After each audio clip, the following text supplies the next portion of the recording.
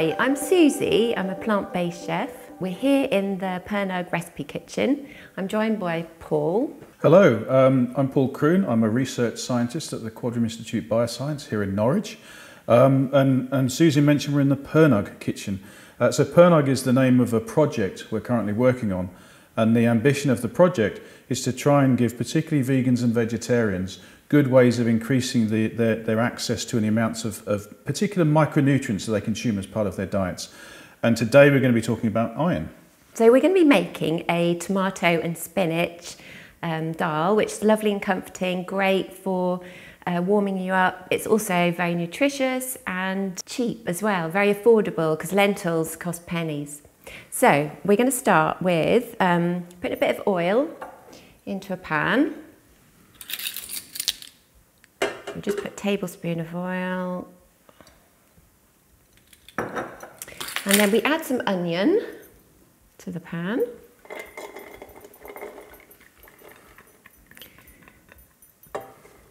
Now we leave that just cooking for about five minutes. So we put the lid on because then that will saute nicely. So why is iron so important in my diet? Why do I need it? Um, iron is absolutely crucial. We all need to consume iron.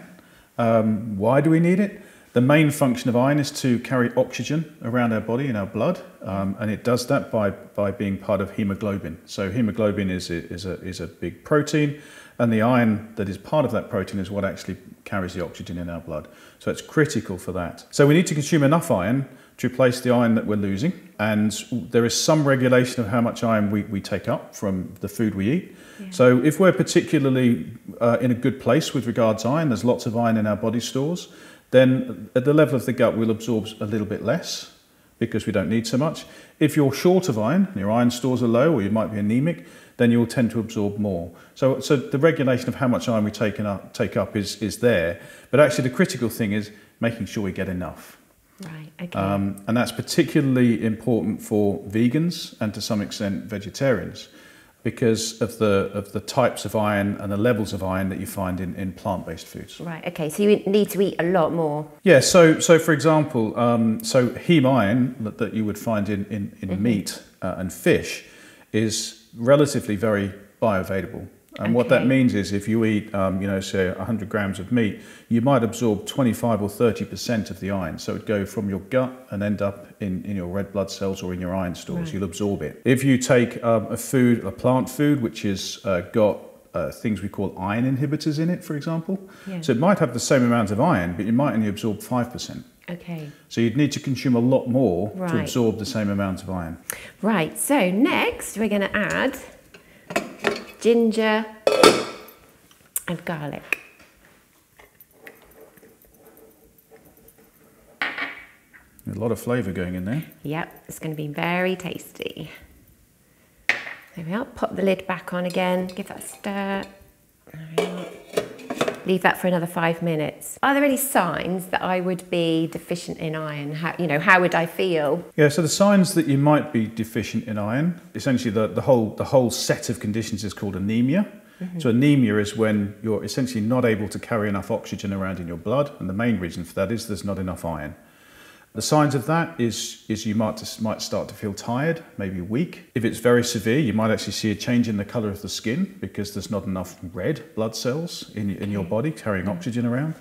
And so things like fatigue are the first things that would really come about. Yeah. There are there are some symptoms of very very severe, you know, iron uh, iron shortage, uh, being deficient in iron, um, but they're quite rare. So how can how can I get tested, other than go to the GP? Well, I would always recommend that you do go to your GP. Yeah. Um, although you can access some blood tests, um, you know, package gets sent to you, you, you, you, go on the internet, package gets sent to you, you send off a blood spot and they tell you a, a, number. If your GP and the NHS are doing the assessment, they'll do what's called a full blood count. Yeah.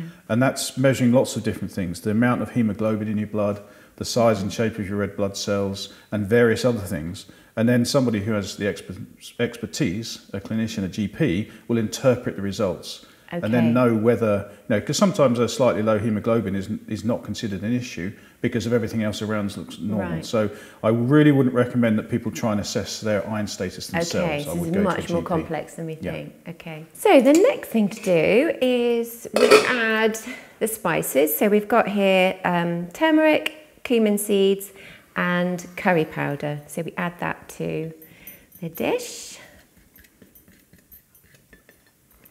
Give that a stir. Just make sure that the spices get um, get absorbed a bit and so that they're not too harsh. They'll start to soften up a bit. And the next thing we do is add, these are red lentils and they've been rinsed. So they've just been rinsed but not soaked. That's right, yeah. You don't need to um, soak red lentils, which is great because they're just quick and easy to use. And they don't take very long to cook either, Yeah. like 15 to 20 minutes. Tin of tomatoes and some stock.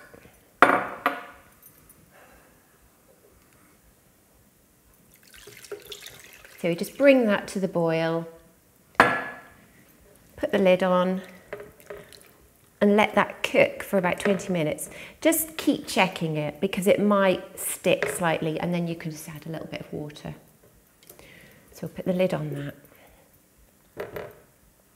And then take it down to a simmer. So Paul, just tell us a bit about the ingredients that we put into this recipe. Why are they so significant? Um, so what, what we've done in the project is is look at vegan recipes, looked at plant food ingredients that are high in iron, Yeah. particularly high in iron, and then and selected recipes that would therefore contain more iron. Yeah. And then we've taken a further look, and, and maybe some of those ingredients we could swap them.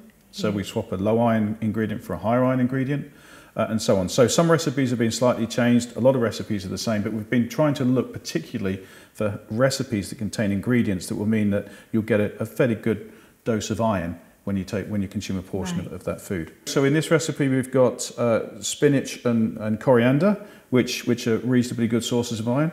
You find lots and lots of iron in, in spices. So you know if you Oh, like to add spices for flavour and heat, then that's another a good source. Of course, you don't put too much in, but then the, the, they have high high Yeah. concentrations.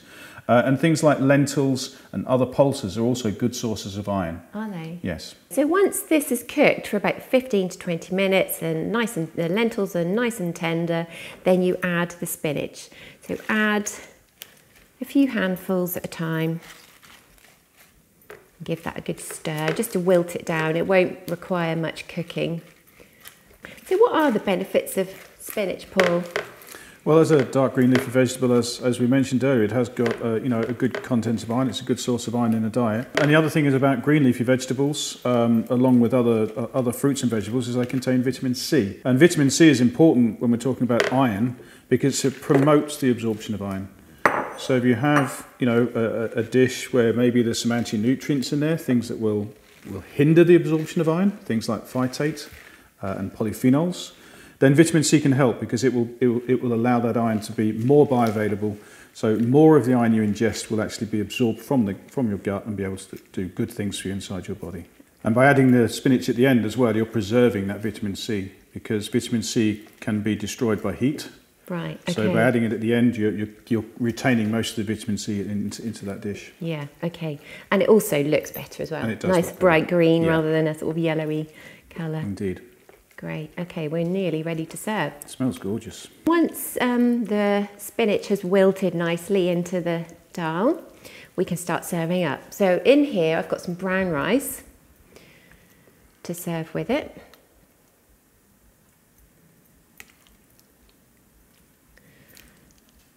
And then we'll finish it off with a squeeze of lemon juice. So is that a good thing? It's a very good thing. So, you know, lemon juice and citrus juices are really rich in vitamin C, so that's going to really help you absorb the iron that, that's in the dish. Brilliant. Okay. And a little bit of coriander and finally some chili. So, a lovely dish, and, and hopefully it's going to benefit you in terms of the iron that you would absorb from that. So where can I find out about quantities of iron in foods? It's very easy to do. So, we have a, a dedicated team at the Institute who are responsible for, for putting together that data for the UK. It's called the Composition of Food Information Data Set, and, and that's a, a government data set. But it's very easy to access that through the Quadram Institute Bioscience website. We'll, we'll give you the link, but you go to the website, you look for the, for the Food Databanks team, uh, or the name may change soon, uh, but it'll be easy to find. And in there, there's a searchable database link, and you go into there, and then you can put in the food that you're interested in, and it'll tell you the quantities of iron, other micronutrients, and all the things like the protein and the fat and the, and the carbohydrates as well. Brilliant. That's really useful. Right, let's dive in. Let's give it a yeah, go. let's give it a try. Yeah. It looks and smells wonderful.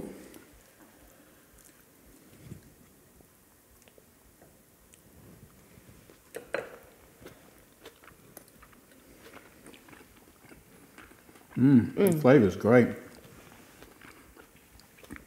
Very good. Lovely. A little bit of heat Is from the chili. Mm. Very nice. I, I love all the spices. They're really good. Good A really good way of flavouring up the, the dish. Very mm-hmm. nice. And it looks really colourful. Mm. Good. And good for you.